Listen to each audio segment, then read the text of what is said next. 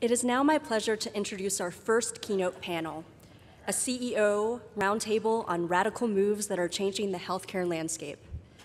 These executives are leading their organizations through a time of great transformation, addressing big topics like health equity, the social determinants of health, and soaring drug costs. First, we have Wright Lassiter, President and CEO of Henry Ford Health System, based in Detroit. Under his leadership, Henry Ford has expanded through two successful mergers, and the system, which is comprised of six hospitals, a health plan, and a range of ambulatory and retail services, has earned top honors in several publicly reported quality programs. Prior to join, joining Henry Ford, Wright was CEO of Alameda Health System in California, and he held positions at Dallas Methodist Health System and JPS Health Network in Fort Worth. Welcome, Wright Lassiter.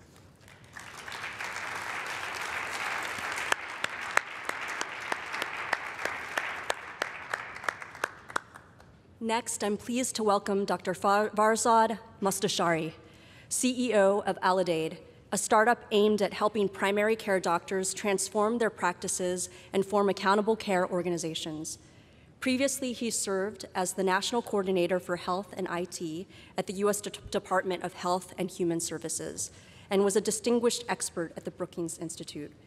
He also founded the NYC Primary Care Information Project, which equipped physicians in underserved communities with electronic health records. Please welcome Dr. Farzad Mostashari.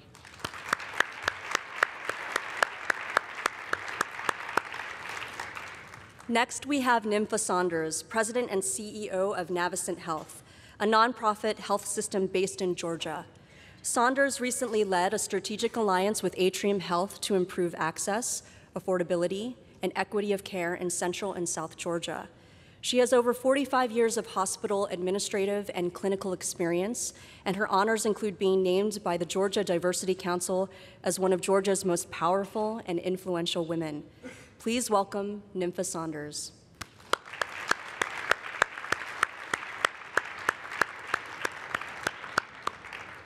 Also with us today is Martin Van Trieste, President and CEO of Civica RX, a new not-for-profit enterprise created by a group of health systems and philanthropies to ensure that essential generic medications are accessible and affordable. Formerly Chief Quality Officer at Amgen, Martin has deep experience in drug manufacturing and quality and government regulation. He has been called an industry change agent for his work to ensure patients have better access to high quality medicines. Please welcome Martin Van Trieste.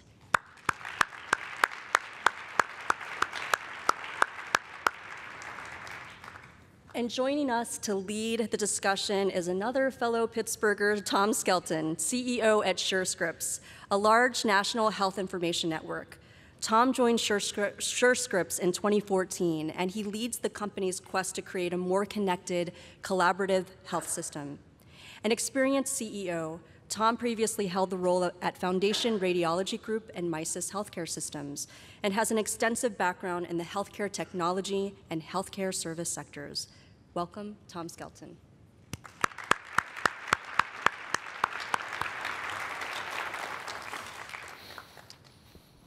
How we doing? We ready?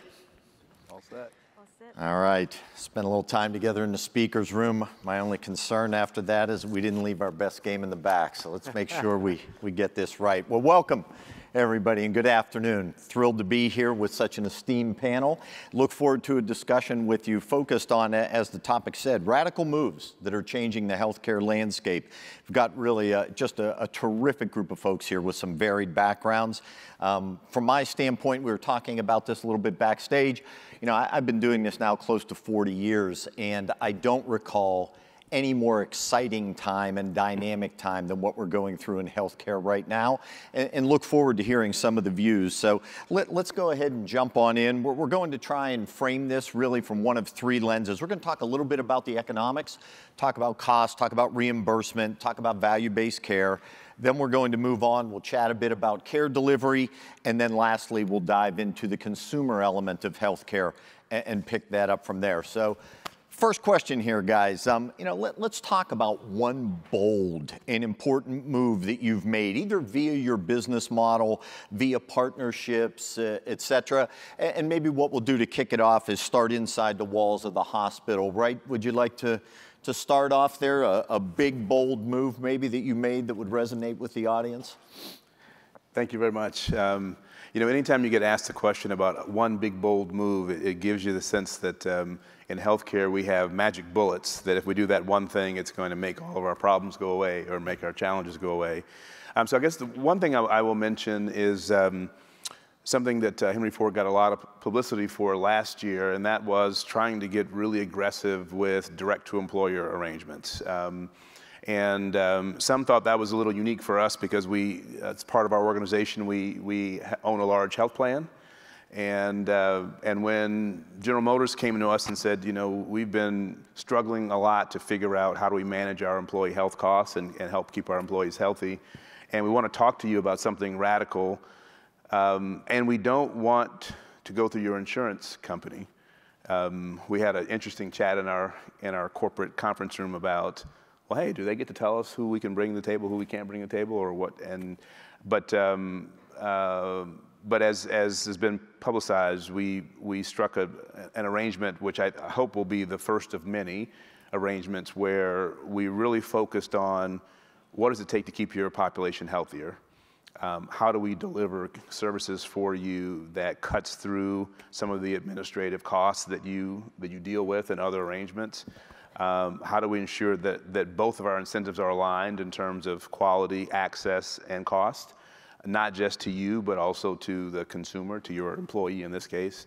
Um, and how do we make sure that there's alignment around those things so it's not simply a matter of uh, if I'm just thinking with, with my hospital CEO hat, that you're not doing things that just simply uh, reduces revenue to the hospitals mm-hmm. on the one hand, um, or two, you're reducing payments to us, and those things don't ever touch your employees. And so you save money, um, but your employees don't. And so, or frankly, we do lots of things, but at the end of a year or two or three, your employees aren't any healthier. Um, and so we feel really comfortable that with a set of 19 metrics, um, and, and they aren't all about cost. They're about access and convenience and satisfaction for, for their 25,000 plus employees that um, we, have, we have something that, that may, may, may be um, something to build on with other large employers. So I'll mention that one item. Terrific. Yeah. Thanks, Wright. Ninfa, how, how about you? Tell yeah, us about sure. Navicent. And... Bold radical changes is like pinning jello on the wall. You hope that it stays long enough for, until the next bold move happens, right?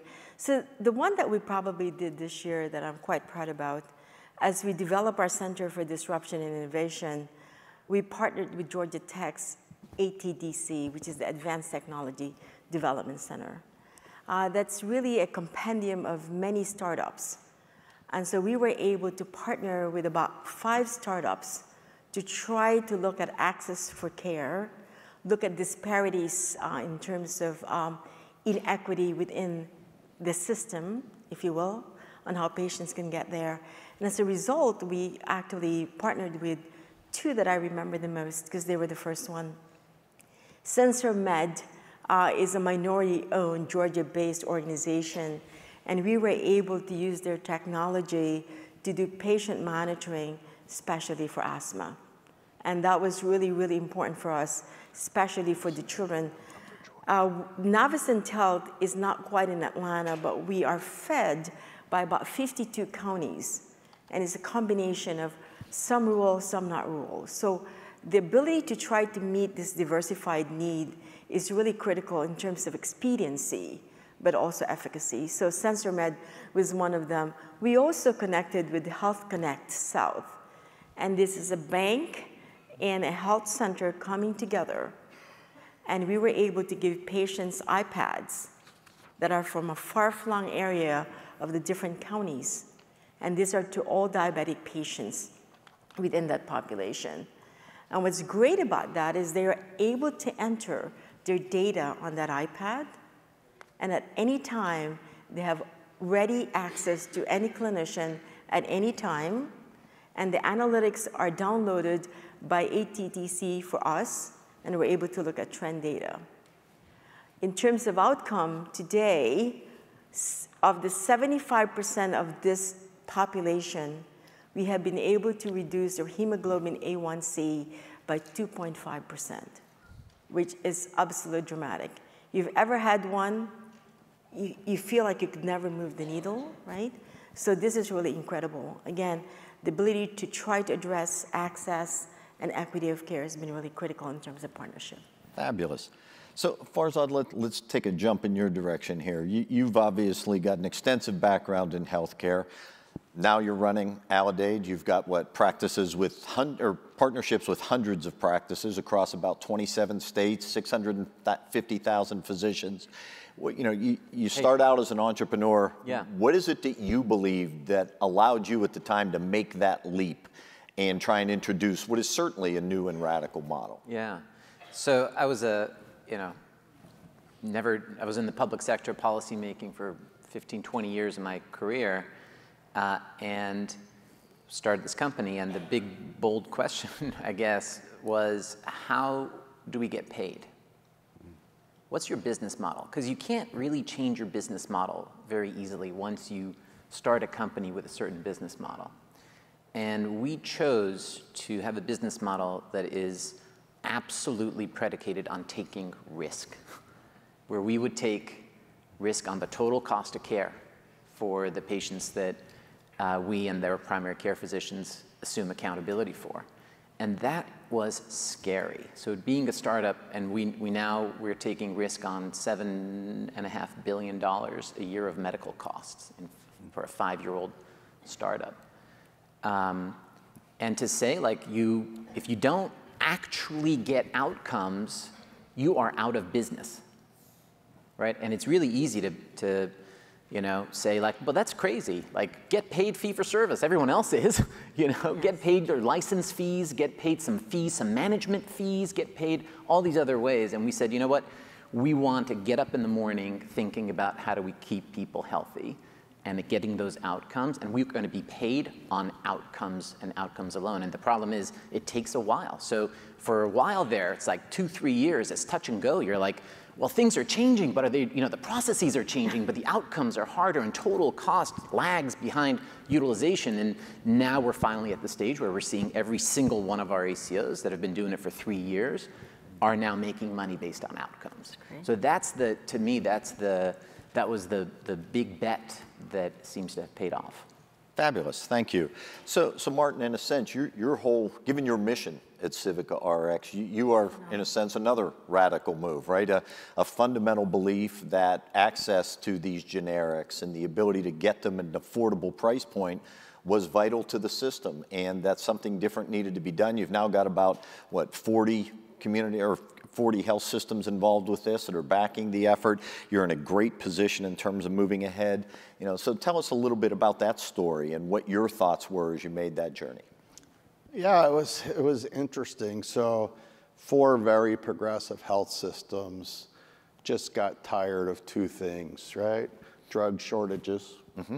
which is a crisis in the United States, especially for these essential medicines that hospitals use every day and predatory pricing of very old generic drugs where artificial monopolies have been created. The most famous one, of course, is Pharma Bro with Martin Shkreli and Daraprim. and they've just got so frustrated, and they were been promised and promised and promised that some, they're going to fix the problem. And they just got tired of it. It was over a decade of this going on. And they came together and says, we're going to start our own nonprofit generic drug company. I mean, what a bold move that was. And so we started with four systems. Quickly we grew to seven systems who were the, on our board of directors, the governing members.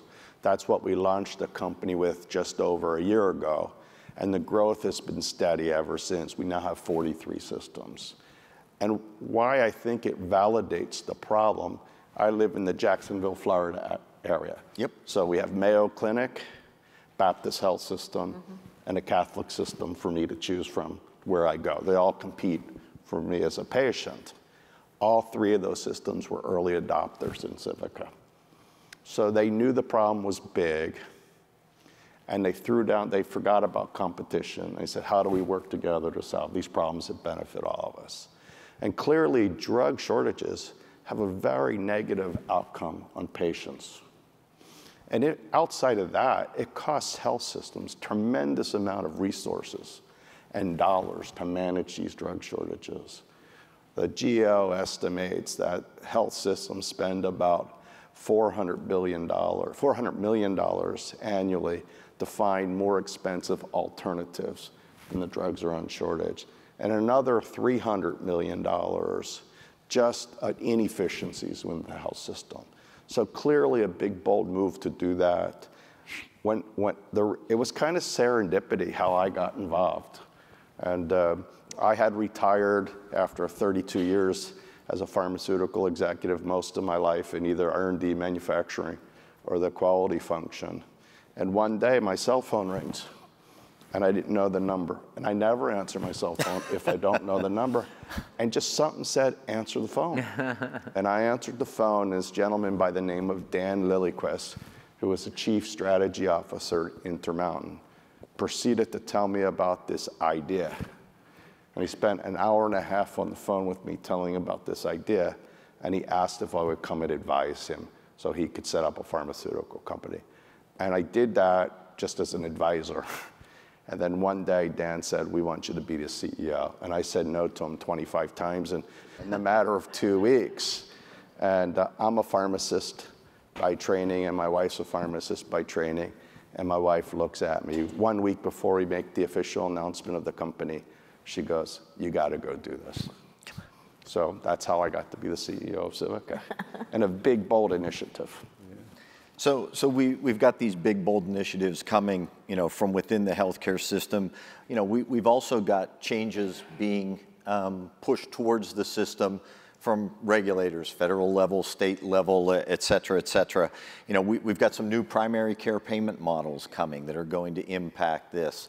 Uh, thoughts on those? A- anyone like to opine on what we're probably going to see and what those might mean to us? Yeah, I think particularly with um, uh, an election coming up in another year, the question always around policy is, you know, are we going to see a shift in policy? And three years ago, there was a big question whether there was going to be a, a fundamental shift in policies around um, volume to value. This kind of fundamental idea that we're going to move away from fee for service towards paying for uh, outcomes. And what we've seen uh, is that there's been real continuity and, in fact, acceleration of that push. And the message, you know, I think Seema Verma, who you're going to hear from, said, like, I'm going to do everything in my power to push towards alternative payment models. Uh, and there has been a great amount of movement, and I think the, the primary care models that are going to be coming out will take effect after the next election. Uh, so uh, I actually expect those to be, a again, a no matter what happens, Democrat, Republican, there's going to be a continuation of this push because just like the, the old model just is not working. Uh, and, um, and I think we're going to see continuing I push towards um, giving responsibility and accountability and data for the total cost of care to folks who are closer to the patient. Um, and I think that trend is going to certainly continue. The details matter a lot. People say to me like, "Oh, what do you think about the, you know, direct contracting? There's a new way where people can take accountability for the total cost of care." And I'm like, "I don't know, because we haven't seen what the definition of the benchmark is yet, right?" right? So everything depends on not just having the right north star that people are moving to, but also having the patience and the iteration to continue working on improving the models and learning from the previous experiences. So, so I would, you know, I would, I would agree with, with, with Farzad in terms of the direction. And I think the question will be, what is the ampli- the steepness of the, of the speed with which we make changes? And so, you know, the reality is, um, while there's a lot of conversation about risk and risk assumption um, in the hospital world, too many hospitals and health systems still function principally as fee-for-service mills. Yeah. And so as a result, you don't see as much fundamental change. And until organizations have so much of their revenue tied up in risk-bearing arrangements, um, you'll still see a lot of the same behavior because um, that's that behavior is what allows that company, that business to to be around next year, um, a year from now, right? And so, so I think that um, I think the question will be how much ramp up will there be in terms of the speed to move. Um, would agree in terms of alternate payment models, and you know I'm a big believer in them, and we'll talk, I'm sure, at some point more about risk and things of that nature. But you know, Henry Ford's been in the risk business for almost 50 years and functioning as a as an integrated um, delivery system, integrated health system with not a lot of hospitals in the big scheme of things, you know, to, to care for 2 million people. You know, we believe that the more risks we take, the better opportunity we have to impact community health. So. Ninfa, anything you'd like to add? Yeah, about seven years ago, I formed this organization called Stratus, which is a uh, non-equity collaborative of 30 hospitals in Central and South Georgia. And one of the key points that we focus on is how do we begin to look at value? We are still 70% fee for service. So having your foot on the fee for service and tell you that the future is going to be difficult when you're still basking on this money coming for fee for service is difficult uh, for many clinicians and, and providers. And so part of what we're doing right now is working with, we're actually partnering with Aetna on a value-based program that gets the primary care physicians within Stratus, within, within Central and South Georgia, to begin to look at metrics, look at process flow, clinical algorithms, outcome expectation, separate and apart from what's going on from fee for service. Service. Here's the problem: when they see the money that they're getting from fee for service, and they see the money that they're getting from value, they're not even measuring the outcomes or working it hard, and they're leaving money on the table because the fee for service is the one that is right. most notable to them. So I, I agree with Wright. The ability to see the runway, how strong that runway is, but second, what is the adoption curve? So if you think about Rogers' adoption curve, there's going to be two point something that's going to go gung ho. They don't care if they understand it or not, they're going to do it. There's about 35% that are early adopters that will go ahead and process it appropriately, concomitant to their current platform. But the rest are going to be late adopters and laggards, and they believe it will never come. So I'm, I don't know if the solution is this expedient sudden death implementation, so reality hits us between the eyes, but the difficulty is what happens to the patients. Mm -hmm. The patients are still in the middle of this. So somehow there's got to be education. We do so much education at this point. I think we need to get some, some adoption. Incentives don't work. So we're going to have to get, get some adoption. And my worry is it's going to have to become a mandate if people are going to adopt it. So, so, Martin, you've heard a little bit about the risk that they're all interested in bearing, have built into their models. Um, you touched briefly on, on access. How, all, how, does all this come together from your standpoint to allow Civica to uniquely add value to that environment?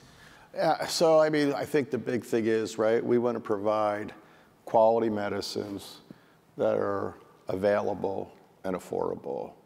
And I think in all three of those categories, quality, availability, and affordability, the industry has failed in one way or the other. And so, and clearly, our hospital-based customers have lost trust in the industry. So what Civica will do is bring quality medicines, you know, mostly domestic sourced, domestic made, that are going to be always available in our very robust supply chain that requires redundant manufacturing and strategic stockpiles of these essential medicines. So if there is a hiccup in the supply chain, we have a buffer capacity. And when we talk about affordability, we work on a cost plus basis. So we're not saying what will the marketplace bear for something for like Martin Shkreli drug will cost, you know, $200,000 annually. So we don't get to say we're going to charge 175. If we say that manufacturing cost is $100 annually, these are all made up numbers, by the way, we would mark it up a, a low percentage. So we're working on a cost plus basis and providing quality and really robust supply chain to try to build confidence and trust back in the system. Great. So let, us stay on that theme of access a little bit. And I know you've done a lot of work here around equity and access and social determinants, et cetera. Maybe tell the audience a, a little bit about what you've been up to there and how you're trying to make a difference. So Navicent Health is, like I said, close enough to Atlanta, but it's also uh, receiving patients from about 52 counties, a combination of rural, suburban, and, and urban uh, counties. The difficulty that we have in the region is this incredible disparities of care. And I'll tell you, it is probably one of the key drivers that pushes me to keep looking at access, affordability, and equity, because I think it's really, really important. So one of the things that we've done during the time that we were looking, doing CHNA, all of you do, it, do that, of course, is to really look at data, data, data, data.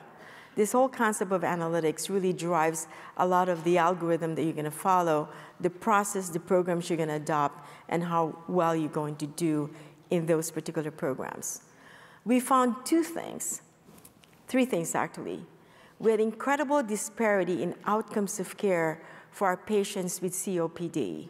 And it was statistically significant in the sense that the African American population's access to care and access to medications was so disparate compared to all others. So therefore, the readmission rate was the highest. The same was true with congestive heart failure. That was also true for diabetes. And so what we decided is to use SensorMed, again, one of our vertical partners, to look at a monitoring program for COPD.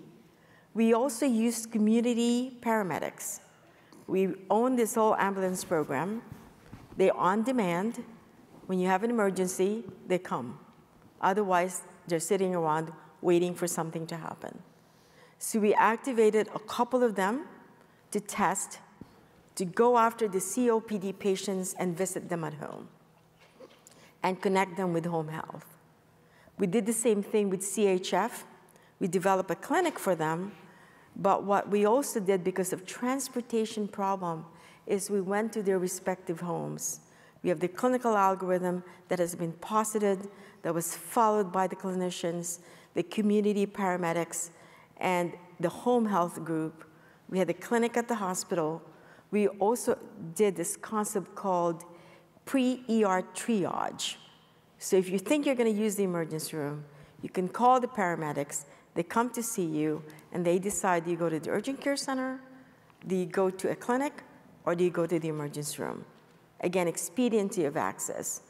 For COPD, after eight months, we were able to eliminate the disparities in outcomes between the African American population and the other sets of the community. After nine months, we did the same thing for CHF. And then, of course, I told you the rest of the story with diabetes. For the 100% population that we targeted, we were able to reduce the hemoglobin A1C by 2.5 percentage in 75% of the population.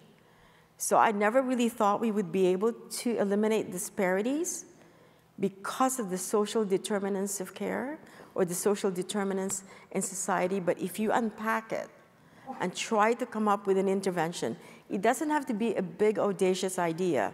Just get it done. The results are truly palpable and in many ways sustainable. Right. Anything you'd like to add, add on that you all have done that has borne results that are worth sharing with the audience?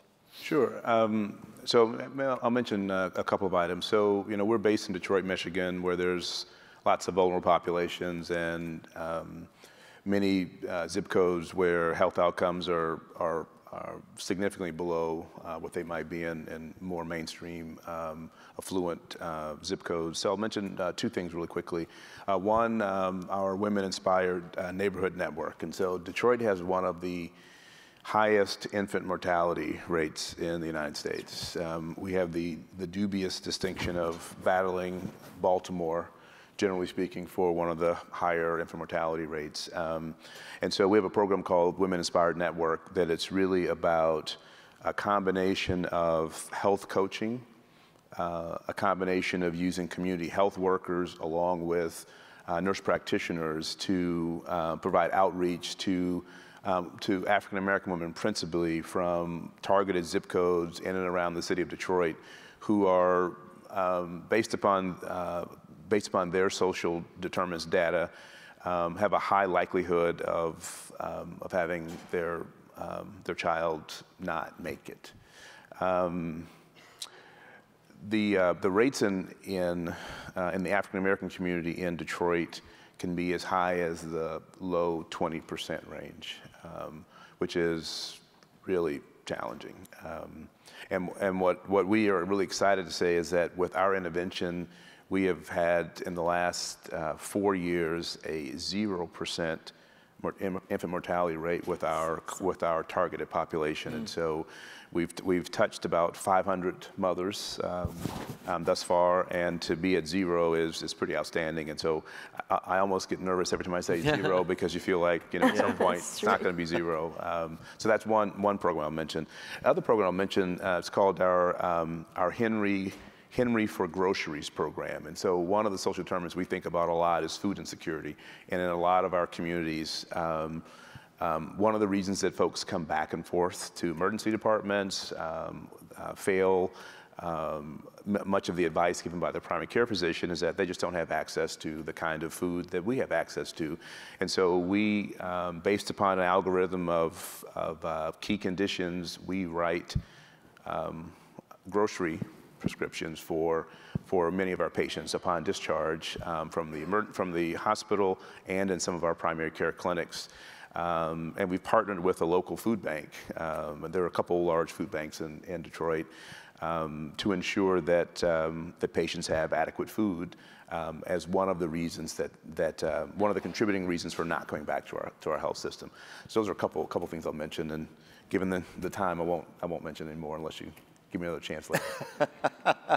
Farzad, was there something you want yeah, to add? just want to add, I mean, there's obviously a huge amount of interest um, in the field now around social determinants of health. And I thought Austin Frakt had a really excellent piece around the difference between social needs and social determinants Thank Mm-hmm.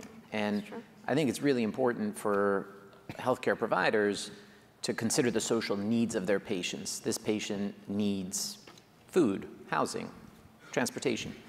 Um, but all too often, we see this medicalization of the underlying problems. And we see institutions who are meeting the social needs of some patients and yet are not advocating for the broader, you know, Medicaid expansion or some of the broader, uh, almost um, broader safety net uh, and, and you know, these institutions have a lot of power in state assemblies and, and so forth. And I think the next step we have to take is not just think about social needs, but actually think about how do these healthcare institutions exert their influence on changing fundamentally the environment and whether it's a food as a food and housing are made available for everybody. Let's, um, let's shift the discussion a little bit. We were, we were chatting backstage about the fact that you know, we're, we're in a unique situation right now in terms of where healthcare needs to go to make itself um, you know, compete effectively in the area of digital interaction with consumers, right? Whether you know it's how we get transportation or how we pick our meal and where we're going to eat, et cetera. We're now in a unique spot here. And the great thing about that is we're taking it seriously. The digital tools are being brought to the forefront. Obviously, they impact access. They impact the way that we are all trying to move forward. They impact, it impacts really who gets inside the system. I had an interesting experience recently that ties to one of you know Martin's missions, which is, you know, after since 2000, I have been on the same blood pressure medicine. Um, I don't know if any of you have had this joy due to some of the shortages we've gone through recently. I'm sure you know exactly which family of drugs I'm talking about, but since 2000, I've been on that high blood pressure medicine. Now, I'm sure it's a coincidence that that was the first year I was ever named CEO of any company ever. you know, I'm sure it's a coincidence, but you know, everything had always been great. And all of a sudden, the drug that I was on wasn't available. And then the follow on drug became unavailable. The third drug didn't work. And now I was interacting with a very large health system on one side and a very large pharmacy chain on the other side and attempting to do that in a digital fashion. So let, let's talk a little bit about that. Um, you know, Farzad, you've got a unique perspective on this, having you know, done what you did at, at ONC for some time. Are, are we making enough progress? What does it look like in your eyes? Yeah. You know, uh, as at the Office of the National Coordinator for Health IT, we had the power, uh, but also the limitations on the power of regulations. And so we could regulate the electronic health record industry to say, you must be certified to be able to provide a patient portal or something. And it's like, well, but what does that mean? Well, okay, what does it mean? And then we'll tell you exactly what the components of a you know, discharge summary have to be, and then you get compliance. And is that good? I, I don't know.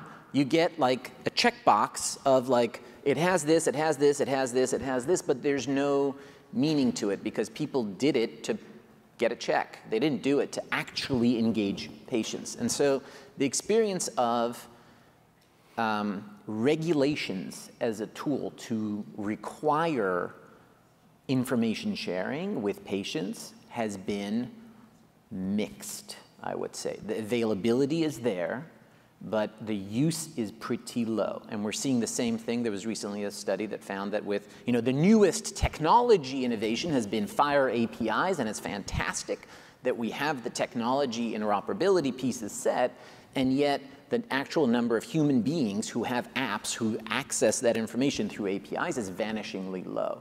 So I think it is necessary but not sufficient. What we really need are tools that people actually want to use to solve their healthcare, daily healthcare problems. Um, and you know, I'm optimistic. I'm a little less optimistic about the whole shopping consumer like consumer mentality. There's some certain things like drugs, like GoodRx. A lot of people have the app on their phones. But for interacting with healthcare more broadly, I actually think one of the most important kind of shoppable moments is when people choose their health insurance. And that we are, you know, if anyone has tried to help someone choose a health plan on the exchange, so true. it sucks. Yeah. It sucks, right? So that I think it would make maybe one area where people's own data could help them make decisions. Sure, and having the data doesn't necessarily cause the behavioral change you're oh. looking mm-hmm. for, right? We, we introduced a price transparency program. We got it out there. We have 200,000 physicians using it. It is massively challenging to get that workflow to the point that everybody loves it, everybody will change their current behaviors, and everybody will make use of it.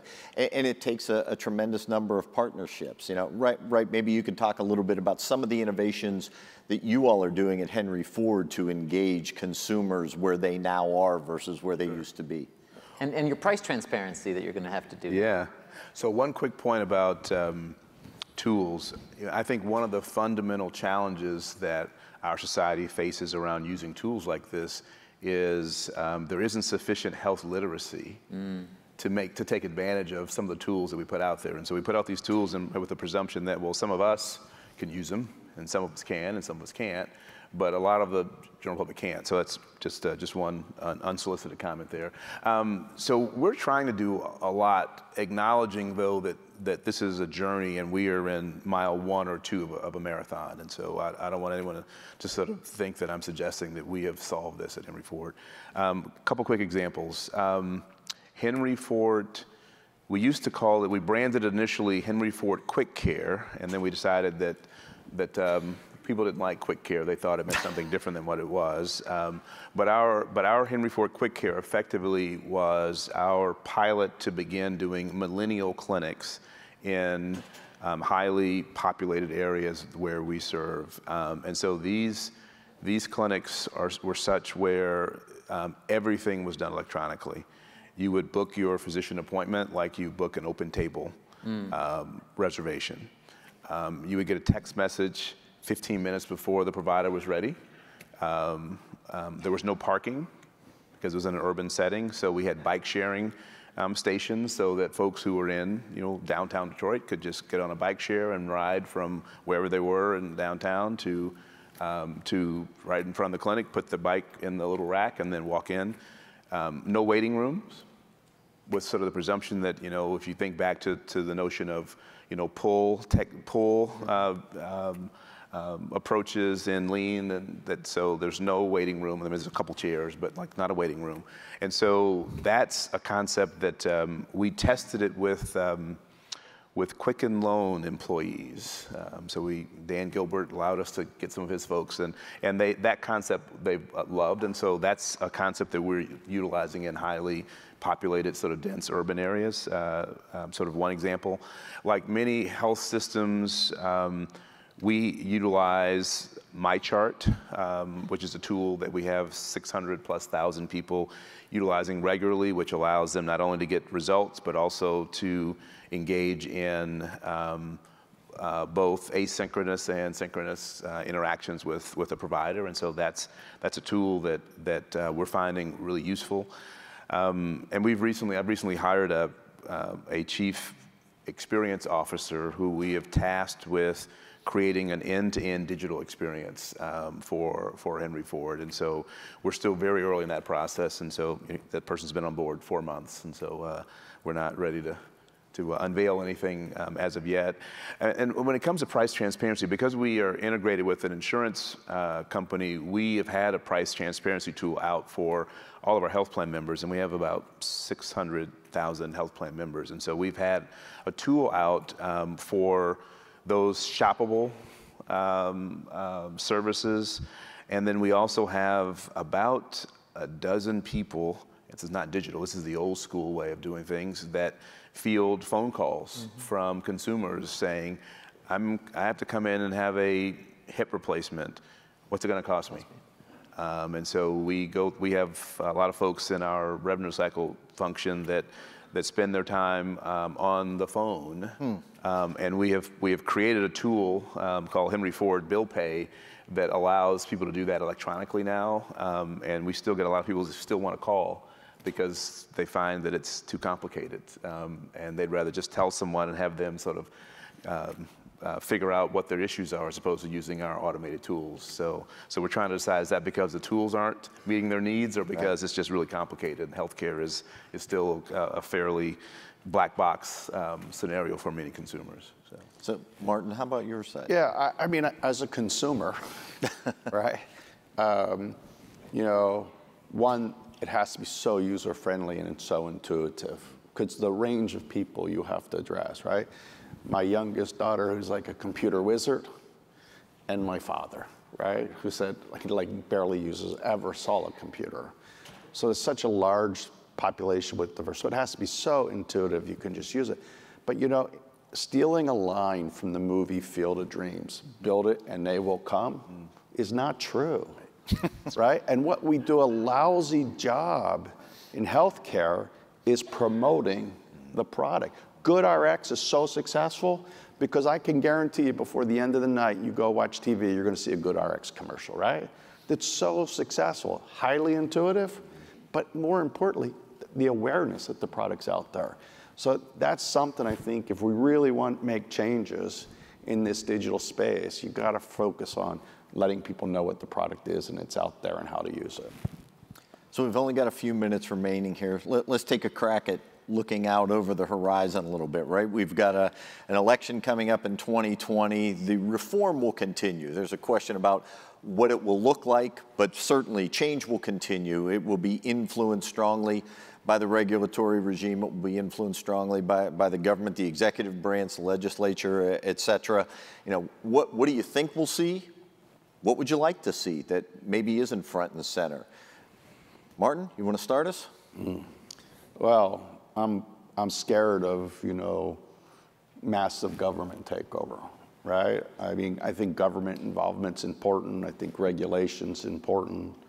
But a massive change to the way we do insurance is not going to fix healthcare, right? Healthcare and insurance are not one and the same. And so that's my biggest fear. Okay. Ninfa? I guess I'm worried about the threat towards privatization. One of the things that's made this country incredible is that its ability to privatize the industry and be entrepreneurial. And if we begin to believe that there's one solution and that solution is a mandate from one group of organization or, or the government, I think we would have lost more than we can ever imagine. I, I think uh, collectively, the th- kinds of things that have been tried to control unsustainable cost growth, like shifting more and more cost to patients and the consumer, high deductible plans, the, the craziness of the pharma pricing system. Um, I think the out of network billing and surprise billing, like people, we have, we, the people who have been influential in healthcare, have failed to give people solutions for the problems they're feeling, and they're feeling worse about it. It used to be people felt like, oh, you know, I don't like insurance companies, but my insurance company or my plan is okay. They don't feel that way anymore, and so they're willing to embrace pretty radical change. And I think rather than just say we can't have radical change, we need to say what is the counter solution to that. And I do think that at some level, having a, for example, regulatory cap on things that you can do on surprise billing is, is I think it's going to happen because it's it's gone so far out there. And you know, uh, if we can have a competition, then that's great. But in so much of healthcare, there is not competition. I think that's the big elephant that we haven't talked about. Right. And maybe there'll be another session next year. Is uh, you can't assume that you're going to have market forces fix healthcare if there's no market, if there's no com- competition, and there's consolidation and monopolies all over the place. So we'll see if that anyone has the uh, solutions to tackle that. Right? I would just say uh, quickly, one, I'm generally a, very much an optimist. I generally believe the glass is more than half full. Um, having said that, what I worry about in the short term is that the uh, political environment um, isn't, doesn't appear to be ripe for, for me to have any kind of structured solution to a very complex issue like healthcare. Um, and so what will happen in the short run, I think we'll see fits and starts around things like pharmacy, uh, pricing, um, addressing that issue. Um, I think you'll see hospitals get hammered a little more around do more to help this problem somehow, some way, and some of that will be regulatory at the federal level, some of that at the state level. Um, and I'm hopeful that we'll address the coverage and access issue, which we haven't been addressing as of late, and we're going backwards around that particular issue.